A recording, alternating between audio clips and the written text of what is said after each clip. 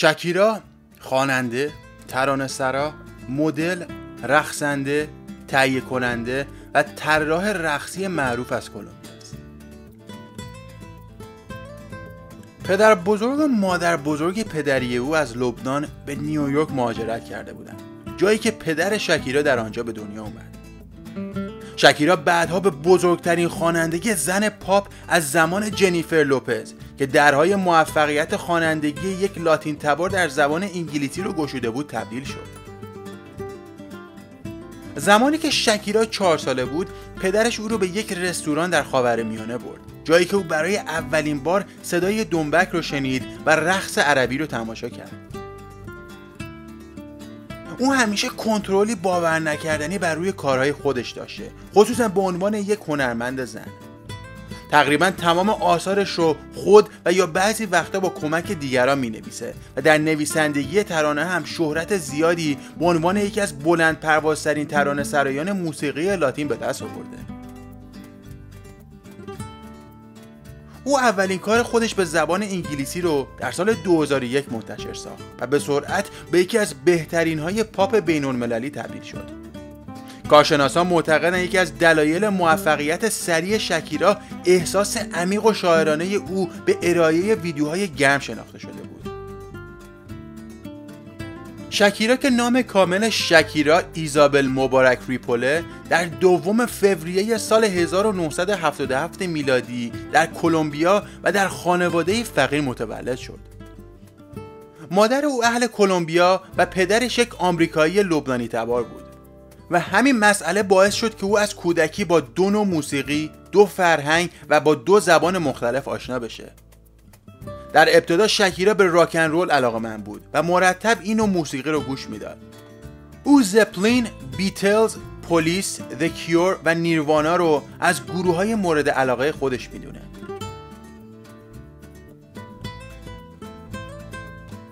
تقریبا میشه گفت که شکیرا کار هنری رو از سن 8 سالگی شروع کرده.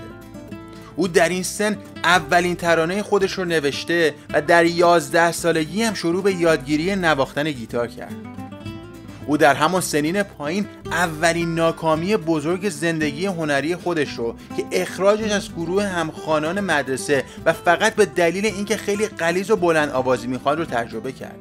ولی شکیرا از کودکی برای خودش هدف داشت و این شکست هم نتونست شکیرا رو از پیشرفت و رسیدن به اهدافش باز داره در سال 1990 و در سن 13 سالگی شکیرا به امید تبدیل شدن به یک مدل به بوگوتا رفت. اما به جای مدل شدن قراردادی برای ضبط موسیقی برای یک بخش بوگوتا رو که ماگیا از کمپانی سونی کلمبیا بود امضا کرد. و اولین آلبوم او که شامل آهنگهایی بود که شکیرا در طول 5 یا 6 سال قبلش نوشته بود و در برگیرنده اولین تلاشهای او در این راه بود رو منتشر کرد.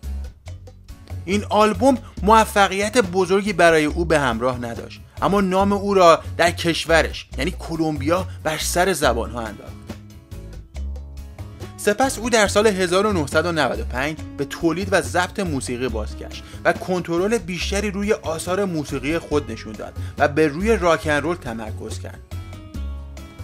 اولین نتیجه این کار آلبوم پیس دسکالزوس یا پای برهنه بود که در سال 1995 منتشر شد ولی باز هم فروش خوبی نداشت و در ابتدا به کندی به فروش می رسید.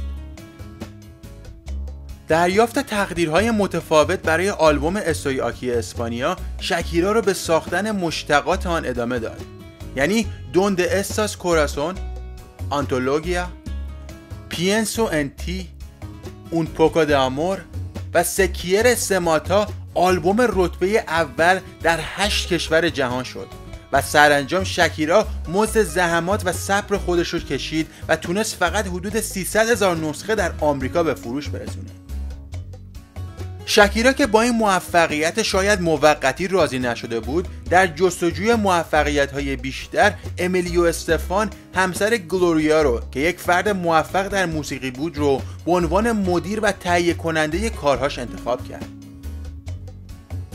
این حرکت او زمانی نتیجه داد که آلبوم بعدیش در سال 1998 و با نام دوند استان لوس لادرونس یا دوزها کجا هستن موفقیت بسیار بزرگتری نسبت به آلبوم های قبلی کسب کرد. از طرف دیگه این آلبوم شکیرا حدود 11 هفته رتبه اول بیلبورد آلبوم های لاتین و دو رتبه اول در آمریکا با سردو مودا، سیگا و تو هم به دست آورد. آلبوم دوند استان لوس لادرونس هنوز به عنوان تاثیرگذارترین معرف شخصیت با اراده شکیرا شناخته میشه. تجزیه و تحلیل شخصیت او او را در میان طرفداران زن هم به چهره محبوبتر تبدیل کرده است.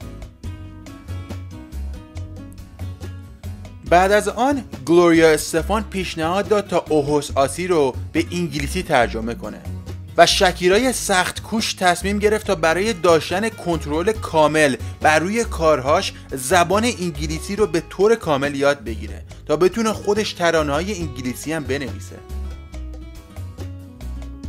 در همین زمان شکیرا خود را برای هنرنمایی و اجرا در شبکه MTV Unplugged که اولین کانال MTV به زبان اسپانیایی بود آماده می‌کرد. اجرای شکیرا در MTV Unplugged به عنوان یک آلبوم در سال 2000 منتشر شد و برای دو هفته در صدر جدول پرفروش های لاتین قرار گرفت. و این سومین آلبوم او بود که به فروشی بیش از 300 هزار نسخه دست یافته بود و جایزه گرمی رو به عنوان بهترین آلبوم پاپ سال رو هم از آن خود کرد. در افتتاحیه مراسم انتخاب بهترین های موسیقی گرمی سال 2000 او به عنوان بهترین خواننده زن پاپ به خاطر آلبوم اوهوس آسی و بهترین خواننده زن راک به خاطر آلبوم اکتاو دیا انتخاب شد. او پس از کسب این موفقیت های بزرگ تمرکزش رو روی اولین آلبوم انگلیسی با نام لاندری سرویس گذاشت و هرگاه هر زمان هم آلبوم بعدی او بود. که در اواخر سال 2001 منتشر و شکیرا رو در زبان انگلیسی هم به یک ستاره تبدیل کرد. و میشه گفت این هدفی بود که اون می‌خواست و براش خیلی زحمت کشیده بود. لاندری سرویس در جدول پاپ آمریکا در جایگاه سوم و هرگاه هر زمان نیز در بین ده آهنگ برتر قرار گرفت. آلبوم بعدی او در بین ده آلبوم برتر و در مکان نهم قرار گرفت و کمتر از یک سال پس از انتشار آن لاندری سرویس سه برابر 300 هزار نسخه به فروش رسیده بود. شکیرا امروز همسر جرارد پیکه مدافع معروف تیم بارسلونای اسپانیا است. آنها اکنون صاحب دو فرزند به نامهای میلان و ساشا هستند. شکیرا تا به امروز تعداد بسیاری از جوایز هنری رو رو بوده و مالک ستاره‌ای به نام خود در پیادهروی معروف هالیووده او تاکنون پنج جایزه از MTV، دو جایزه گرمی، هشت جایزه از جوایز گرمی لاتین، هفت جایزه موسیقی بیلبورد و 28 جایزه از جوایز موسیقی لاتین بیلبورد و یک بار هم نامزدی جایزه گلدن گلوب رو در کارنامه خود داره. و در آخر خوبه بدونید که شکیرا رکورد بالاترین فروش در کلمبیا رو هم داره و بعد از گلوریا استفان موفق ترین خواننده زن لاتین با فروش بین 50 تا 60 میلیون نسخه از آلبوماش بوده. فکرشو بکنید واقعا اگر کسی هدف داشته باشه و سخت کوشی، پیگیری و صبر رو هم کنارش بذاره حتما به موفقیت دست خواهد یافت. شک نکنید همینطوره. اگر بخوایم از این بیوگرافی نتیجه بگیریم باید بگیم که شکست لازمه پیروزیه و اون نمی‌تونه ما رو از رسیدن به اهدافمون باز داره. با سپاس فراوان از تماشای ویدیوی زندگی نامه شکیرا. اگر از این ویدیو خوشتون اومد لایک یادتون نره. در ضمن یادتون نره کامنت بدید و بگید زندگی نامه چه کسی رو بسازید اگر هنوز عضو این کانال نشدید لطفا روی دکمه subscribe کلیک کنید. مثل همیشه لایک و کامنت یادتون نره و از همه مهمتر زنده باد انسانیت.